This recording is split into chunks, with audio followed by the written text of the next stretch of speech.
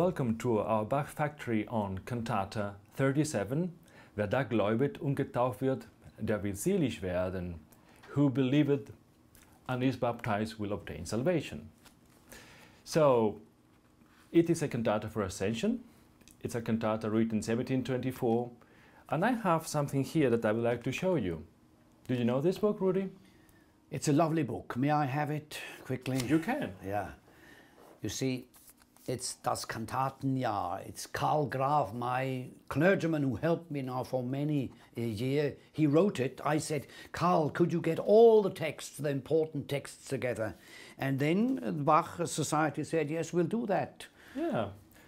So here I am. In order to prepare for today, I went into it and I looked for Himmelfahrt for Ascension, which you will be talking about a little later too, I hope, what Ascension is.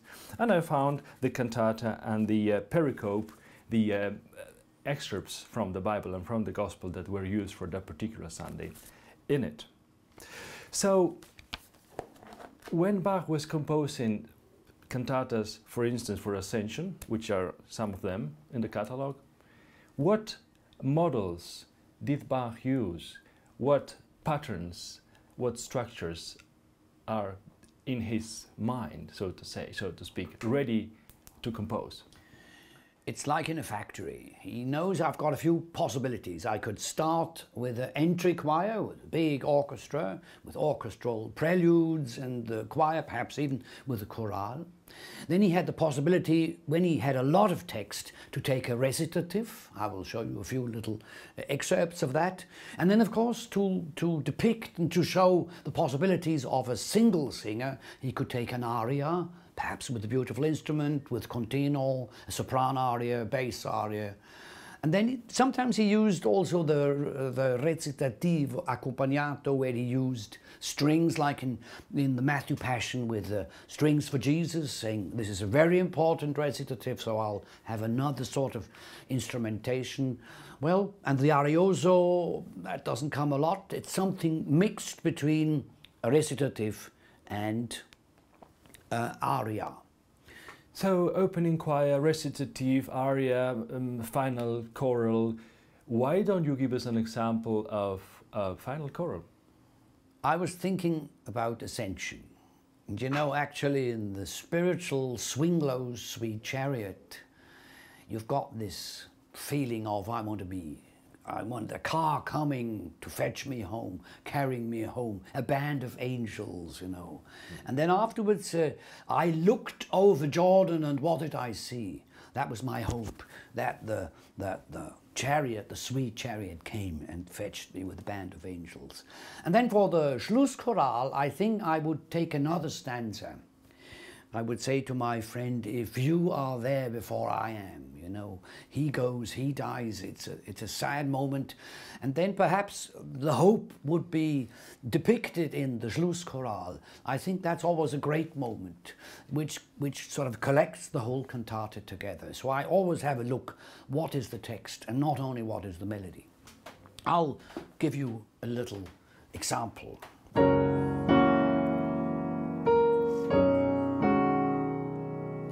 Swing low, sweet chariot, coming for to carry me home.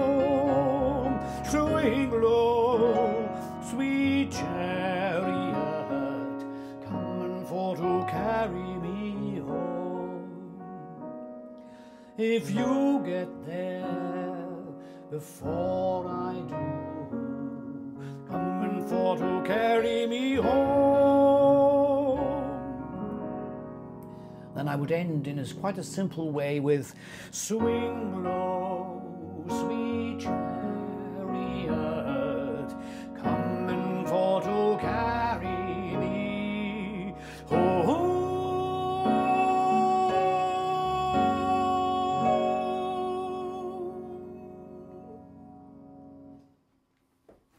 don't we now build a bridge to the beginning of a cantata and talk about the opening choir? The opening choir would also perhaps use the same chorale anyway in a chorale cantata, but it could also take another spiritual if I stay in this jazz style. It could start with Nobody Knows the Trouble I've Seen or with any other Steal Away to Jesus, something like that. Uh, would you have a wish, Xoán? Well, uh, oh, when the saints. okay, oh, when the saints, yeah. Well, now you go marching in. That might be quite a nice idea. Right. Now, in, a, in an entry choir, I would have an introduction with the band. I'll do something like it could be a, a free jazz style.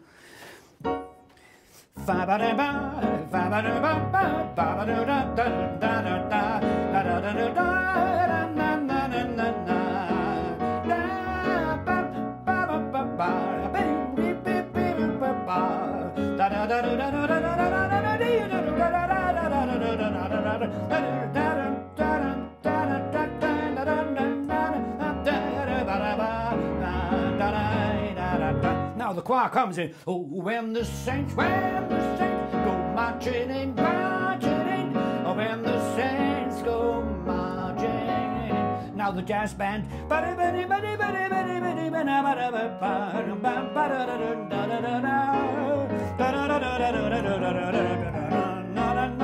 Then it goes on with the other part of the chorale. It's sort of divided and it's quite a big piece with a lot of instruments, with saxophones, jazz band, perhaps even the big band, and a great drummer and things like that. And the choir, not that with the soloist, but the choir. That is the entry, big entry piece. Well, that could be also part of a Huldigungskantate, honoring some big personality like a king, the king of Prussia, or somebody else. Yes. The King Satchmo, Louis Armstrong, all like that. Very good. Well, that is the entry choir. You were talking of arioso and no, especially of aria. Yeah. Uh, well, that would be perhaps a special text to this um, sort of importance of the cantata. It could be telling the whole story, what happened, how uh, Jesus was talking with his disciples. And they say, well, now what will happen? They say, my Bentley is coming, you won't see me anymore. Uh, uh, I will afterwards see my father, and that will be a great moment. Um, it could be a text uh, explaining that. It could be homesickness of a soprano and say, uh, bye bye aria. Let's let's imagine something with a yeah.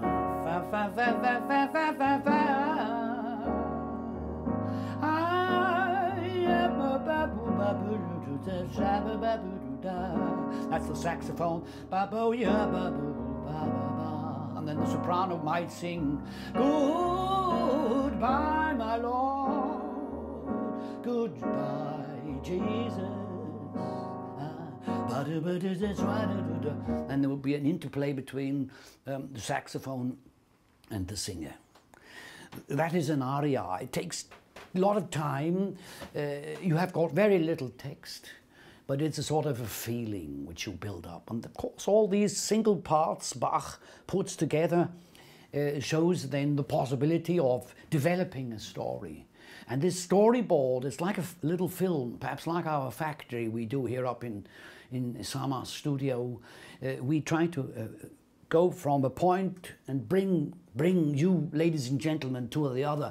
Afterwards, you say, we want to, we just want to hear this cantata. It's very, very important. Recitative, how would you explain that, Xoán, to uh, our public? Recitative is always something. I mean, recitare, you know, is to to recite something. You know, it's uh, it's not an aria that you're sing. It's more parlando. It's more speaking about something, isn't it, Rudy? So, if you were to explain a recitative, uh, we were talking earlier on about big personalities in Huldigungs cantata. I was just wondering, why don't you give us an example of a recitative? We just had a few days ago something big happening here in Switzerland. Oh, Not a yes. king, but almost Ah. two kings. Two almost. heroes from Russia and from America, Yes. Joe Biden and, And- Vladimir Putin. They were they met in Switzerland. Yes, we could tell that story. Uh, um, we could tell the story last week in Switzerland, in Geneva. we met, we heard, and we would make a text explaining that, and then you would sing about Joe Biden and Vladimir Putin. Yes. They met up in Geneva and discussed important things. And then plum, plum, I would play two chords, and then it would go on. And after meeting up, they went um, to the press and explained. Exactly, plan, plan. And uh, that's the way you can really, you could take a, a newspaper and say, let me have the, your little book, and I would have this here. Die Bibellesung für Sonn- und Feiertage, Perikopen, sind nicht zufällig auf die 52 Wochen des Jahres verteilt, plam plam, sondern vielmehr auf das Kirchenjahr ausgerichtet, plom plom. You just have to say where is a stress, where is not a stress, bring that into a 4-4 bar, and here's the recitative. And if it's a very one, a very important one, you could even let a few strings make a nice sound, or two flutes, or like that. Now you see, ladies and gentlemen, this little outing into the factory of Johann Sebastian Bach's possibility also uh, don't forget there were a lot of very modern things like recitative used in the opera. Um, so people coming to church heard also quite modern music, like we sometimes depict the, the forms. Do you remember uh, Nun danke alle Gott, we talked about gigs, we talked about bourrée anglaise. The whole music that was used for the great service of God. Thank you for this overview on models and structures of general cantata composition. We will now focus on the particular cantata that we are talking about today. Juan, could you give us an overview? Well, yes, it contains all the models that you've been talking about. We have six movements. We have an opening choir, we have a tenor aria, second movement. Third movement, we have a chorale, which is a duet. Fourth movement, we've got a bass recitative. Number five is a bass aria. And number six is the final chorale. And in the entry choir, we've got a big orchestra, of the choir, and in the tenor aria, we've got a beautiful violin solo. And that duet we'll have to really talk about. It's a very complicated. They're always Bach shows. I don't only bring a chorale, I always do something new. Number four was a recitative with strings, mm -hmm. and the five was a big orchestra, and six, of course, all together. So you see, sometimes you've got the feeling it's always the same, but actually it's never really the same. This sort of going on from alpha to omega is always a very important thing. And I think the storyboard is very, very um, important. Now, what's my task? Let's dig into the opening choir and we will listen a little bit of it as well. It's a brilliant, for me, light blue sky with this chord in A major. It is here, I open the window, sun is shining in. And then the oboe one does rim pam pee.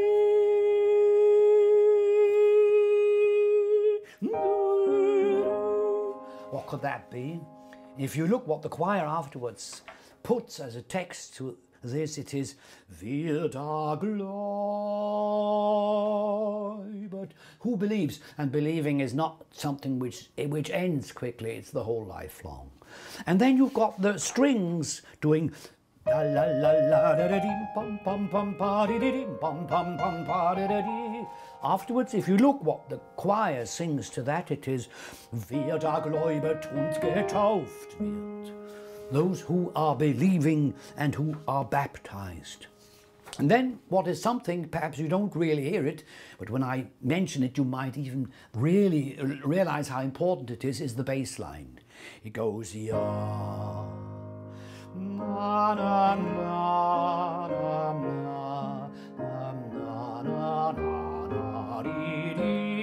And then it goes to the next dominant war, goes again. It's a line going down. And I've got the feeling it's a marvelous moment of relaxation. Together, you've got this harmony, which afterwards, when the choir comes, depicts in this beautiful, I would say, little bit Mendelssohn way.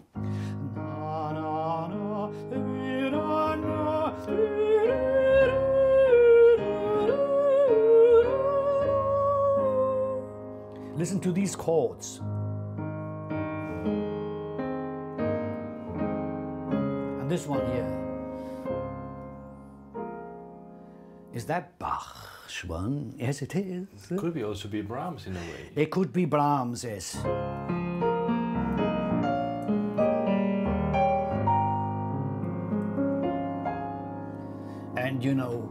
Brahms was always so incredibly fanatic about Bach. Well, he's not the only one, you see.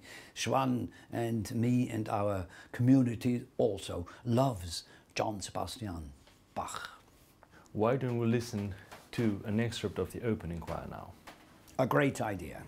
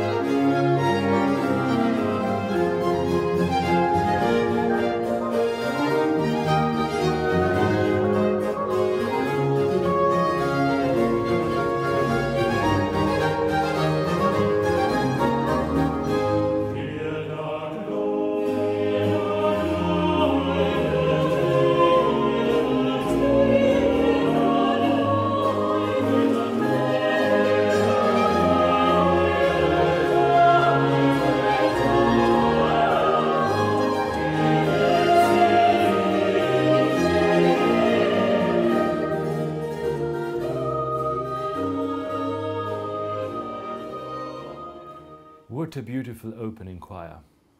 Now we've go into the uh, tenor aria, which is number two, which handles a metaphor of Glaube, belief. And it's very special that Bach uses this idea of Glaube, belief in two very different ways. First of all, in this tenor aria, number two, but also on number five, bass aria. So in number two, belief is das Pfand der Liebe. What a beautiful idea, the pledge of love. And in number five, belief is what gives wings, pinions to the soul. Two very different concepts and ideas. Now let's talk a little bit about number two, das Pfand der Liebe, and this beautiful aria that Bach wrote, and that in our version uh, has a very special completion. Because the violin voice, we, we assume it's a violin voice, is missing. That just can happen. And then, uh, of course, the few, a few composers try to make a beautiful uh, uh, reconstruction of this melody. It's not quite easy, and I chose the one from Masato Suzuki, a beautiful version he wrote for us.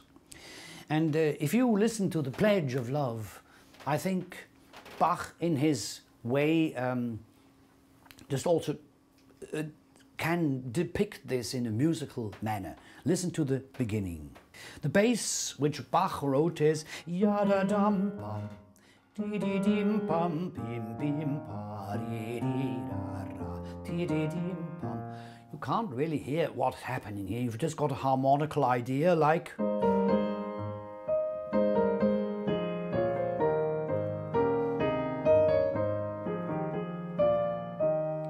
Could invent another melody.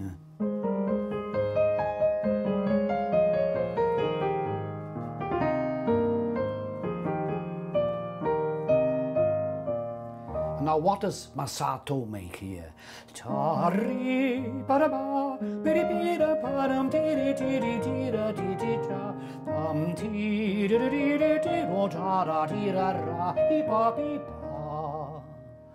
Isn't it beautiful? I think this is the pledge of love. Xoán, I would propose we take a little, a little part of our performance. Very nice, yes.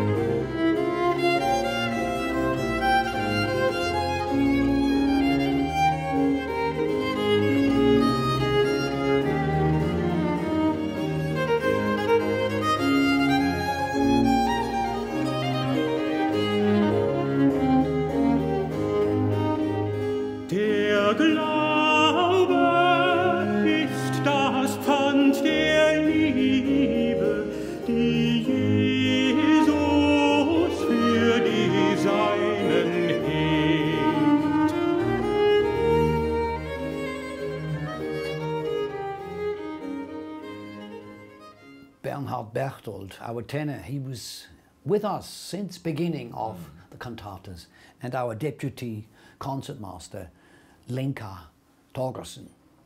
Wonderful ensemble. So let's move now on to the aria I mentioned earlier on, aria number five, the bass aria, with this idea of Glaube, belief, giving pinions, giving wings to the soul. So what happens in the music, Rudy, which is of course totally different to this music? Like we expect, of course, Xoán, Bach is very exact when he says, I've got another text, I make another music. And of course, this swinging up gives a very much energetic feeling, and let's look what Johann Sebastian Bach puts in the orchestra.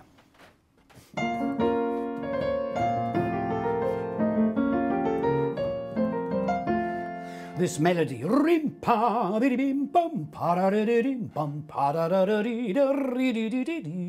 You hear it, this idea, der Glaube schafft der Seele Flügel, dass sie sich in den Himmel schwingt, in den Himmel schwingen. And then you've got this very interesting little rhythmical idea which comes in the other strings, in the violin too, the viola, and in the bass. La da da, la da da, together, bum bum pa bidi bim bum di di ta da da da dim dum ti di di di And the bass singer does Der Glaube schafft der Seele Flügel, dass sie sich in den Himmel, den Himmel schwingt. Going up to heaven, ja da da di di di di da yam di da. And then afterwards the baptism comes in again and you've got really the feeling it's not just a bit of water here, but it's really putting you down in the Jordan and you go come up and all my sins were washed away, like in the spiritual. Listen to what the bass has to do when he says, Tauche, taufet is this going downstairs. Get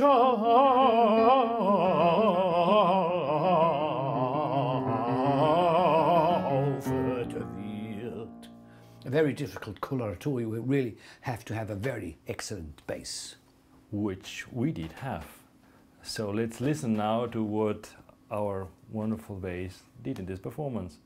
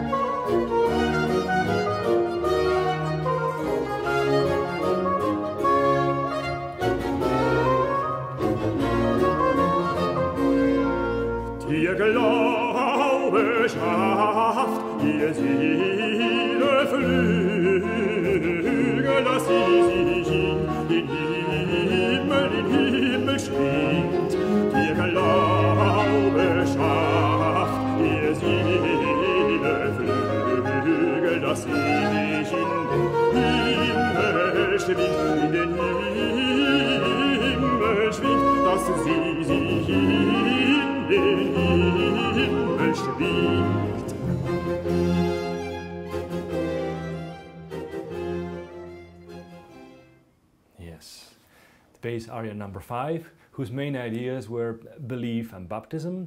And as opposed to that, if we now go back to chorale number three, the duet, we find two very interesting key ideas mysticism and ecstasy, with this very uh, particular text Father, Godfather, my champion strong, thou hast me ever before the world in thine own Son beloved.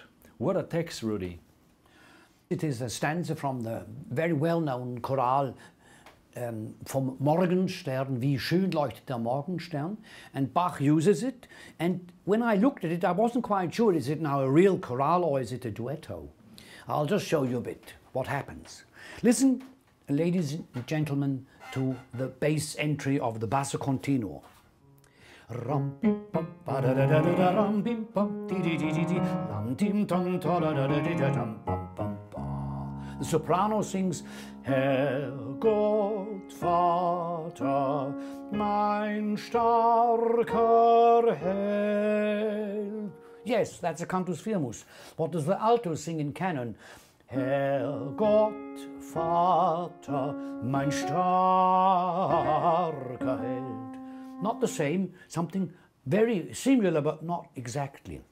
And in the bass melody, you haven't only got this ecstasy in the three, three, one, two, three, one, two, three, one, two, three. You've got also a bit of melody. Lum, pim, pum, pa. If I do that slowly, pum, pum, tum, ta.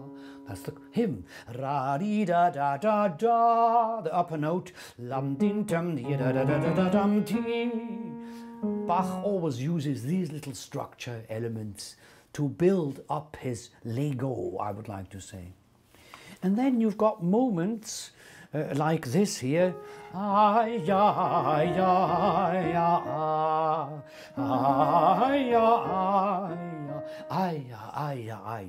And the, the soprano sings, That's, of course, cantus firmus. So you see, you've got all the concertato, you've got the Cantus Firmus, you've got the beautiful um, melisms, and that's why we had a very interesting misunderstanding when we said, how do we want to cast this piece? Xoán, tell us the story. Well, yes, I remember very well when we were working on the booklet for the performance, uh, we were not sure what did Rudy mean in with regard to the uh, duet, with regard to the soprano voice and the alto voice. Is he talking about two individual singers, which is absolutely possible, or is he talking about the soprano and the alto singers of the choir singing as a choir together? So what did happen? What happened? Like we sometimes do it when we have a misunderstanding, we say one idea is great, the other idea is great, let us perform it in the way A and the way B. So in the introduction we said we'll do it with two singers in casual clothes, and then afterwards in the performance with the choir and the big continuo. I think it would be quite nice now to listen to the two versions just after each other. We first hear Noemi and Jan with a continuo, and then suddenly the choir also joins in.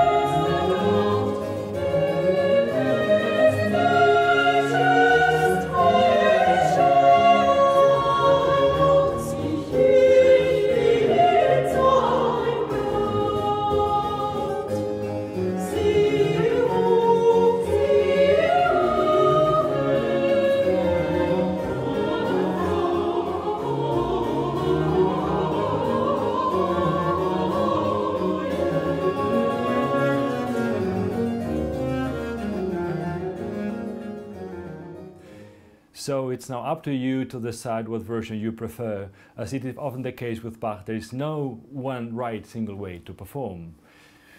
Now we just have two remaining movements of the cantata, number four, recitative bass and final chorale. So Rudy, you can now talk about these two movements, whatever you want to start with. I think I'll start with the Schlusschoral, taking everything together. It's like always a fabulous choice. I would like to just read you the text and then afterwards play a few lines. Den Glauben mir verleihe, give me please uh, belief, an dein Sohn Jesus Christ, that I believe in him, Jesus Christ. Mein Sünd mir auch verzeihe all hier zu dieser Frist. Now in these times, please forgive all my sins. Du wirst mir nicht versagen, was du verheißet hast. You will give me that, what you promised me, dass er mein Sünd tragen und löse mich von der Last. That you will carry me home and you will also, you will take my sin on you. And if you listen to the choral,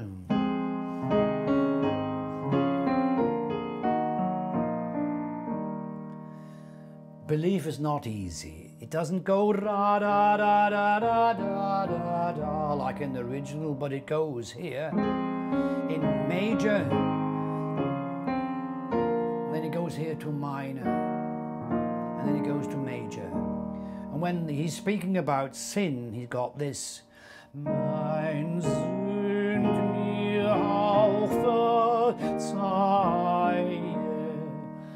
Here he's in major, but what has happened in the lower voice is na na na na na na. The passus duriusculus, the chromatical line in the bass, which just depicts the idea of sin.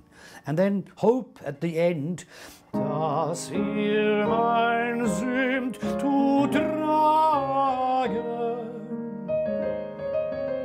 Nicola playing his beautiful interludes. Und mich von der Last. Oh, when the saints go marching in.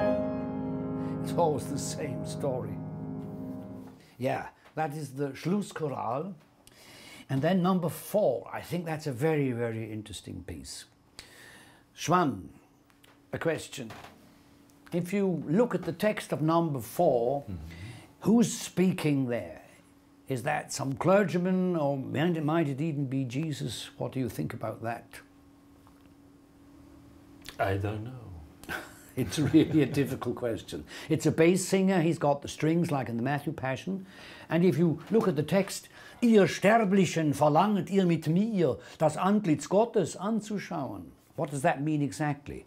You, people who belong to the human beings who will have to die, do you really expect from me that I will have a look at God's face now with you together? That could be Jesus. It could be Jesus. Ja. And afterwards it goes on, so dürft ihr nicht auf gute Werke bauen. That sounds like a, a Lutheran uh, clergyman saying, you can't build uh, your hope on your good works. He says, denn ob sich wohl ein Christ muss in den guten Werken üben, although Christ should be a person who looks after his others and does good works, weil es der ernste Wille Gottes ist, God wants that, so macht der Glaube doch allein, dass wir vor Gott gerecht und selig sein. And then he says, it's just our belief which gives us the chance to come to heaven. It's always the same. You remember the beginning, uh, if you're baptized and if you believe, you might really come and get salvation. Now, um, musically, I could be on now for the next 10 minutes, but perhaps we listen to the beginning and we listen to the end. Then I've got two little remarks. Ihr Sterblichen, verlanget ihr mit mir, das Antlitz Gottes anzuschauen. In the bass, ja, da, da. A question, a Phrygian cadence, das Antlitz Gottes anzuschauen. And then, the end, so macht der Glaube doch allein, dass wir vor Gott gerecht und selig sein. What does Bach do and what would Rudi Lutz have done? He would have done this here. So macht der Glaube doch allein, dass wir vor Gott gerecht und selig sein. With great hope, beautiful A major, like at the beginning. What does Bach do? What does Bach do and why does he do that? It's my interpretation. So macht der Glaube doch allein, dass wir vor Gott gerecht und selig sein. Chromatical voices. It sounds like the B minor Mass. And it's a question, why does Bach decide for this solution, not for the other solution? Xoán, of course, I could ask you what could be the reasons. Would you like to give us an answer or a proposal? Well, I think that would take too much time. And I think what we want to do is encourage our viewers to go on to Bachipedia and watch the full performance, to the introductory workshop that is also on Bachipedia, and to the additional comments that might give an answer to all these questions. So please stick to us and find the performance soon on Bachipedia, Rudy. Yes, that's a great idea. Thank you very much for watching.